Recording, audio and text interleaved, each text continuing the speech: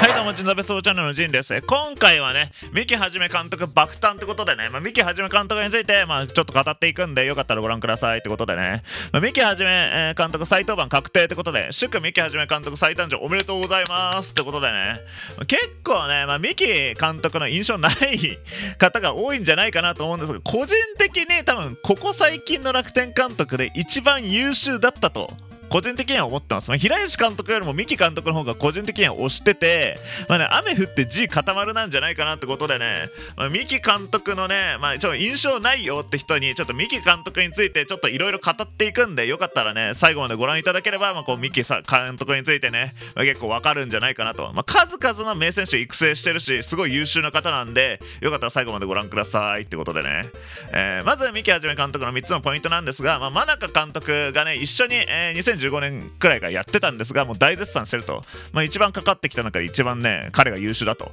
えーおっしゃっております。で、えー名選手をね、数々育成しており、育成に関わっておりまして、まあ、村上宗隆とか西川春樹が代表的な選手に当たるかなというところで、まあ、2020年はちょっと不運だったかなと、個人的には思いますね。まあ、コロナの、えーなんだろう、本当に一番ね、ひどかった時期ですし、まあ、石井元 GM のね、肝入りで監督になったものの、まあ、ちょっと1年でギブアップ的な感じで辞めちゃったのかなと、個人的には思ってて、えーっとね、まあ、そこら辺が残念だったかなと。で、まあ、野村 ID 野球の正統派申し子で、もう本当にね、えー個人的には期待しかない監督だなと、個人的に思って、再び指揮を取ってくれるのは非常に嬉しいなという感じですね。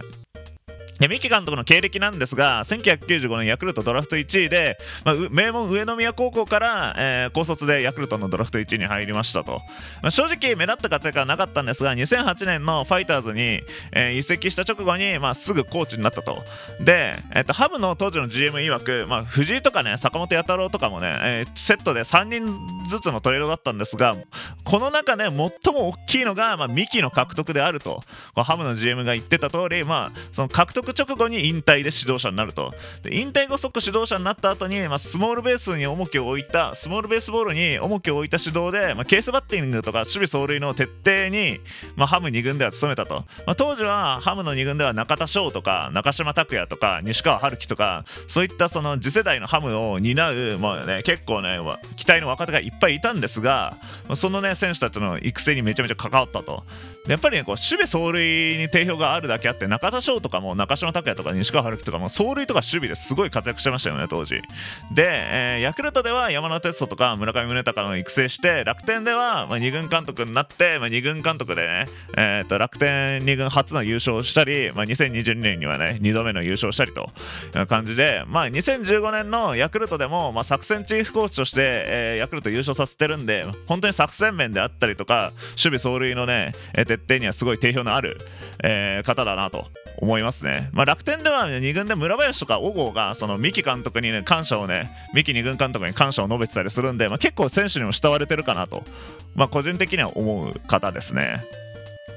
で真中さんがとにかく大絶賛してると。今まで関わってきた中で最も優秀で一番野球を知ってると。いうことを、ね、真中さんは語っておりまして、まあ石井和久 GM もね、まあ、当時ね、まあ、ヤクルトとはいえ全然ミキさんにね面識なかったらしいんですが、まあ、2軍のねヘッドかなんかやってたミキさんをどうしても引き抜きたいということで、まあね、楽天に来ていただいたと。2軍監督で、まあね、本当にね野村 ID 野球の、まあ、最後と言ってもいい、まあ、結構世代的にもねミキ監督若いんで最後と言ってもいいような正統派申し子なんじゃないかなと個人的に思いますね。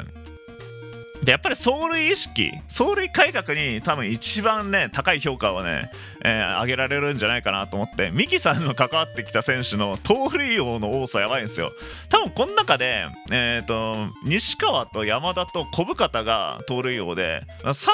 盗塁王いるんですよ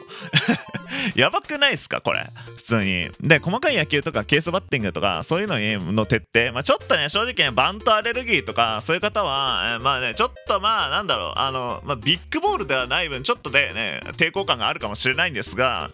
まあそれでもねなんだろう。あのたただやみくもにバントするんじゃなくてちゃんと頭を使ったというかこの場面はこうするべきだよねっていうのを分かった上での細かい野球なんで個人的には本当に野村監督のえー、野球に近いなっていうのが、まあ、結構印象としてありますね。で、やっぱりねあの結構柔軟性もあって2番にブラッシュを置いたり出塁率とかを鑑みて、まあ、2番にブラッシュを置いたりとかそういう柔軟性もあるので、ま、個人的にはこうただのバント一辺倒じゃないかなというような印象はありますますね。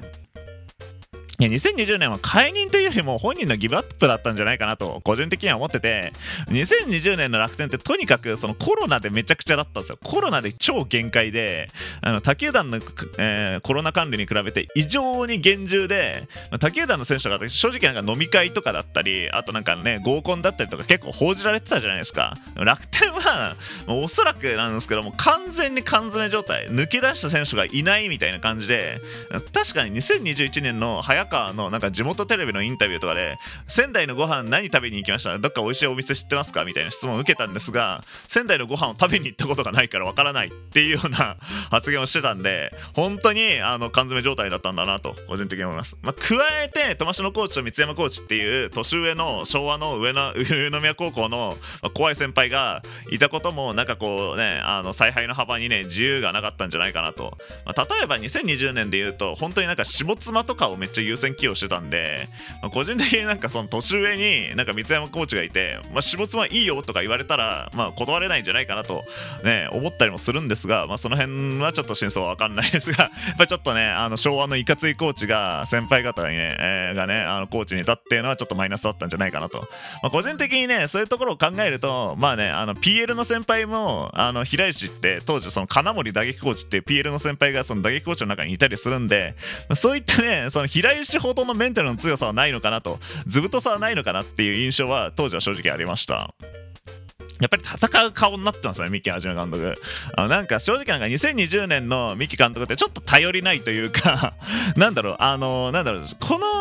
で監督ちょっとさすがになんか作戦面とかいろいろ優秀かもしれないけどちょっとメンタル強くないのかなと。負けが込んできたらなんか采配が迷走したりとかなんかそういうねメンタルの弱さを感じたんですがもう2024年も本当にたね、まあ、何回も何回もその2軍とかでもね修羅場をくぐり抜けて結構戦う顔になってるなっていう印象があって、まあ、経験も積んで本当に非常にねいい指導者になってることをね期待したいと、ね、したいんですよね。で石井和さん GM もねあの当時その2020年辞めるときにまあね2軍監督になってもう一度一軍監督になるみたいな可能性もあるみたいなことも言ってたんで、まあ、正直ね、なんか三木監督の再登板っていうのは、まあ、石井監督石井シニアディレクターがどこまでかかってるか分かんないんですけど、まあ、正直想定内だったんじゃないかなと思いますね。まあなんかね、もう今井監督とかね、石井監督兼 GM とか GM 兼監督とかね、挟みましたが、まあ、正直雨降って G 固まるなんじゃないかなと本当に思ってて、まあ、直人2軍監督っていうのも正直ね、直人を、渡辺直人を1軍監督にすぐするよりは2軍監督で見極めるとか、そういうね、